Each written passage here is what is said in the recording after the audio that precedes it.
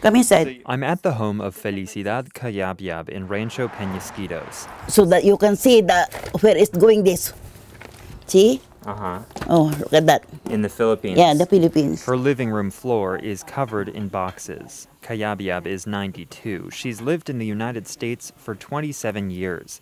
The boxes are full of memories, photos, and mementos that she doesn't want to lose.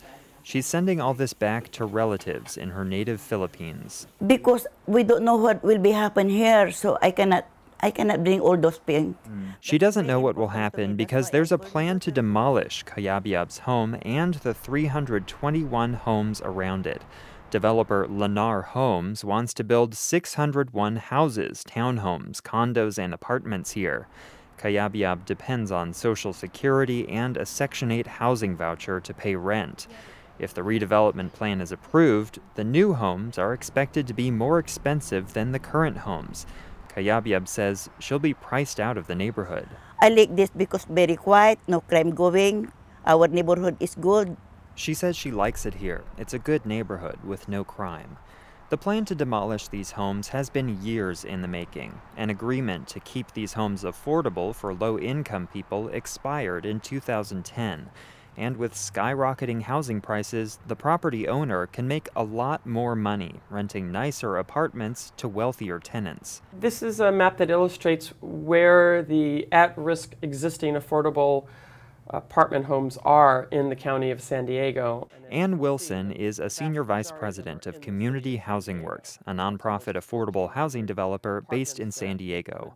She says because funding for low income housing has been inconsistent over the decades, a lot of affordability restrictions are about to expire all at once. And when they expire, the owner has the ability to sell the property at a great profit because whoever comes in there can can raise all the rents.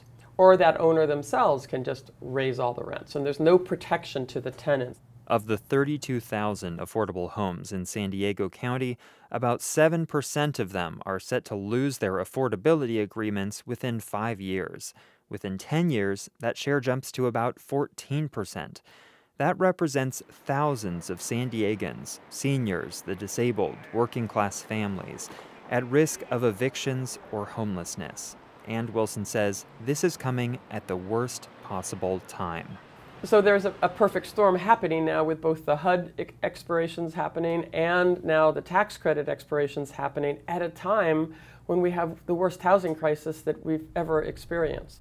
If we had lots of vacancies and low rents, it wouldn't be such a bad thing. People could go somewhere else, but we don't. There's nowhere else for people to go. That's because housing production simply hasn't kept pace with population and job growth. Fights have played out in Hillcrest, Bay Park, and Encinitas as residents resist new homes coming into their neighborhoods. Wilson says this hurts our economy, our schools, even our mental health. If you're on the edge and have very little money, you're, you're not able to give your family what you want them, and that hurts all of us. I will like this place quiet, Back at her home in Rancho Peñasquitos, Felicidad Cayabyab is anxious about the future. What kind of life we are waiting for us? That I am thinking, what kind, oh my God, what kind of love, what kind of life waiting for me if they will demolish this? What kind of life is waiting for me, she asks. I have, no, I have nothing, to, I have no place to move. I have no place to move. The plan to redevelop her neighborhood goes before the City Council later this year. Andrew Bowen, KPBS News.